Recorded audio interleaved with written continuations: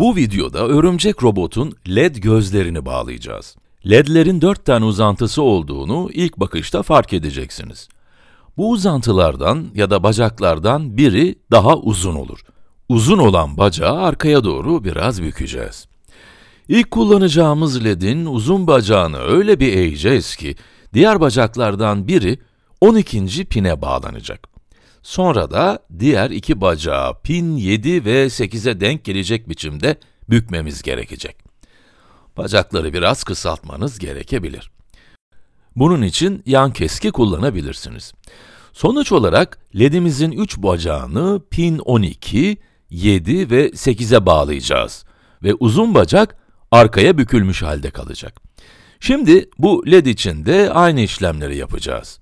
Uzun bacak arkaya eğiliyor ve şimdi de uzantıları bağlıyoruz. Bu ledin bacaklarını hangi pinlere bağlıyoruz diye soruyor olmalısınız. Bu kez 4, 3 ve 2 numaralı pinleri kullanacağız. Bunlar dijital pinler. Evet, işte oldu. Bunlar robotumuzun gözleri olacak. Evet, yeteri kadar sağlam oldu mu? Evet, iyi görünüyor. LED'leri güzelce yerleştirdiğimize göre, şimdi dirençlere geçebiliriz.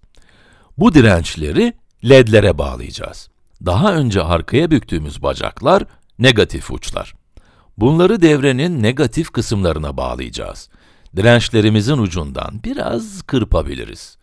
Çok fazla yer kaplamalarını istemiyoruz ve sonra da bir arada lehimleyeceğiz.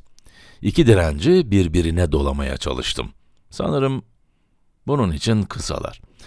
Bir diğer yöntem olarak dışarıdan başka bir kablo alıp bu ikisine bağlamayı düşündüm fakat bu da işe yaramadı. En son yaptığım şey ise bir krokodil pensi alıp bu pensle ikisini bir arada tutup Ah, evet yine düştüler. Hadi bir daha deneyelim. Evet, sonunda krokodil pensi yerine tutturmayı başardım derken yine düştü. Burada dene dene bir daha dene kuralı geçerli. Fakat krokodil pensi bir kere yerleştirdiniz mi gerisi kolay. Krokodil pens iki şey yapıyor. İlki, dirençleri yerinde tutuyor ve böylece onları lehimleyebiliyoruz. Bir diğeri ise ısıyı absorbe ediyor. Böylece ledleri zarar görmeden kurtarıyoruz. Şuradaki fazlalıkları kesiyorum. Aynı şeyi direncin diğer tarafına ve lede uygulayacağım. Diğer göze de aynı işlemleri yapıyorum. Şimdi biraz makaron kesiyorum. Makaronlar yalıtım için önemli parçalar. Şimdi bunu direncin üstüne kaydırıyoruz. Bu yolla açıkta kalan kabloları diğer metallere değip kısa devre olmaktan kurtarıyoruz.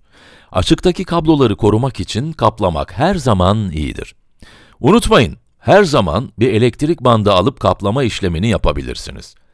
Makrolarımızın bağlantıları tamamen kaplanmış durumda. Açıkta bağlantımız kalmadı. Şimdi tekrar edelim. Elektrik bandı da buradaki makronlarla aynı işi görecektir. Belki bu kadar güzel görünmeyebilir ama iş görür. Şimdi diğer tarafı da halledelim. Ardından iki parçayı birbirine dolayacağız. Ve bunları da motor kontrol devresinden gelen negatif kabloyla ya da başka bir deyişle negatif çıkışa bağlayacağız. Bu şekilde dolayabilirsiniz. Fakat dikkatli olun, benim gibi yapmayın. Çünkü gördüğünüz gibi ledin ucunu kırdım. Dolarken yerinden çok fazla oynatmış olmalıyım. Yeniden lehimlemem gerekecek. Umarım bu sizin başınıza gelmez. Evet, tamamdır. Uçlarımız ledlere sabitlendi. Şimdi kırmadan her şeyi birbirine bağlıyoruz. Evet, oldu. Bir de lehimleyelim ki temassızlık durumu olmasın. Birleşme yerinin sağlam olduğundan emin olmalıyız. Lehim tabancasını biraz ısıtacağız ve lehimlerken kabloların üstüne gelmesine dikkat edeceğiz. Uç kısımdaki fazlalıktan kurtulabiliriz. Bu işlemi yaparken, daha önce yerleştirdiğimiz makaronların lehimin üstünden geçirmek için fazla dar olduklarını fark ettim. Gördüğünüz gibi bu turuncu makaronu yeni yaptığımız lehimin üzerinden geçirmemiz pek mümkün değil. O yüzden size tavsiyem daha büyük çaplı makaronlar kullanmanız olacak. Böylece lehimin üzerini de kolayca kapatabilirsiniz. Şimdi burada yapacak bir şey yok. Başka bir şekilde halledeceğiz. Önce makaronları küçültmek için ısı tabancamızı kullanalım. Şimdi de açık uçları kaplayalım. Biraz elektrik bandı işimizi görecektir. Açık kısmın üstüne bir parça bant yapıştırıyoruz. Biraz önce elektrik bandı da makaronla aynı işi görür demiştim. İşte bu da onun kanıtı oldu. Bandı nasıl kullanabileceğimizi de görmüş oldunuz. Bandın fazlasından kurtulalım. Sıkıca bağlı olduğundan emin olalım. Evet, artık ledlerimizin bağlantıları hazır. Kablolarımız yalıtıldı ve doğru soketteler. Her şey yerli yerinde. Biraz daha güzel görünmesini sağlamak için kabloları eğik bükmeniz gerekebilir. Şişe kapağından yaptığımız gözleri de yerleştirelim.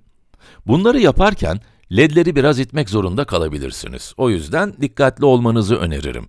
Ledlerin uçları soketten çıkmasın.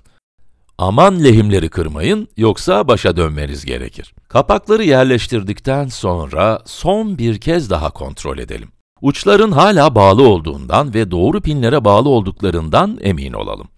Açıkta kablo ya da uç olmadığına göre her şey yolunda. Evet, tamamladık. Devremizin açık olduğunu görebilirsiniz. Şimdi sıra programlamaya geldi.